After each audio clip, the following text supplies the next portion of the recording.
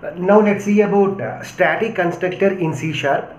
Static constructor is mainly useful in order to access static variables. So by using static constructor, it is not possible to access non-static variables. Static constructor will be called implicitly, automatically before an object of the class is created. That means whenever a class is loaded into the memory, then automatically the corresponding static constructor will be called. Static constructor will be called only once. It won't call more than once. So there is no need to call static constructor explicitly. It should be called implicitly before object of the class is created. Okay. Uh, now let's see this example. Uh, here we have two classes. The first class is test whereas the second class is program. Okay. Uh, in test class we have uh, an instance variable called i. next we have a static variable called s Okay. Uh, next static test. This is nothing but static constructor. If you want to define a static constructor then here uh, we have to use as the modifier static. So static space constructor means the name of the constructor should be same as the class name. So test. So what is the use of static constructor for accessing st static variables? Okay. So here the static variable is s. Let the initial value of the s is 100. Okay. Next to this is nothing but normal constructor, default constructor. Okay. Uh, so in default constructor what we are doing? We are incrementing i value, s value. That means uh, in default constructor or parameterized constructor or copy constructor can you access static variables as well as instance variables also. But static constructor can access only static variable. Static constructor cannot access normal variable. It can access only static variables. Whereas other constructors can access static variables as well as instance variables also. Okay. i plus plus s plus plus. Next we are displaying i value as well as s value.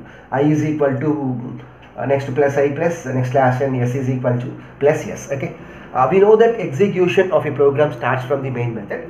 Uh, so let here name of the class is program. So static void main test to obj1 is equal to new test. But here what will happen? Our program contains static constructor. So that constructor will be called before an object of the class is created. So first this constructor will be called. Okay. So what is the value of s?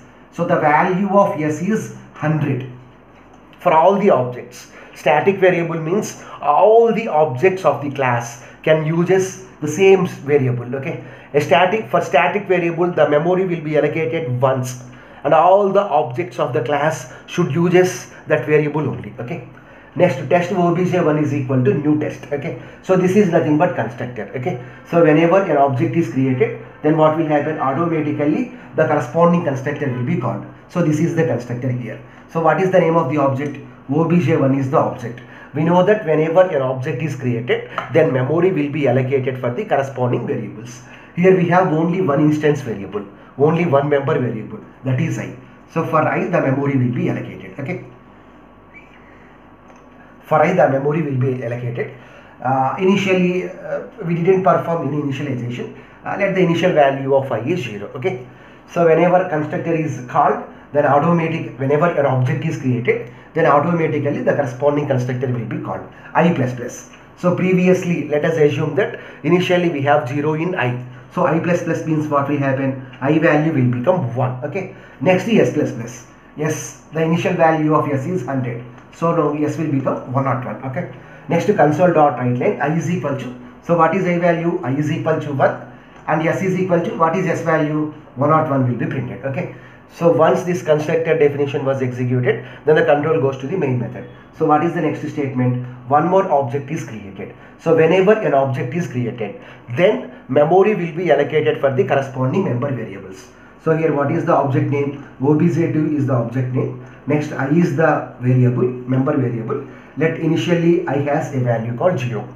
So here we have a constructor. So whenever an object is created, then the corresponding constructor will be called. So control goes to the constructor i plus plus. So what is the value of i now? Now we are accessing the values which are in object 2. So object 2 contains this i value. Okay. So this i value won't changes. why because this i is belonging to object 1 whereas now we are performing operations on object 2 so what will happen i plus plus so i will become 1 next to s plus plus so s becomes but s is a static variable. All the objects of the class can make use of only one static variable whereas each object of a class is having its own instance variables okay? So s will become 1 or 2 because s plus plus means previously we have 101 so 101 plus 1 means 102 okay? Next to display. So what is a value? I is equal to one. 1 s is equal to what is s value? 1 or 2 will be printed okay so next this method execution this constructor execution was over. So control goes to the main method. So there are no other statements in the main method. So what is the output here? I is equal to 1 s is equal to 101 next i is equal to 1 s is equal to 1 or 2 so this is about uh, static constructors in c sharp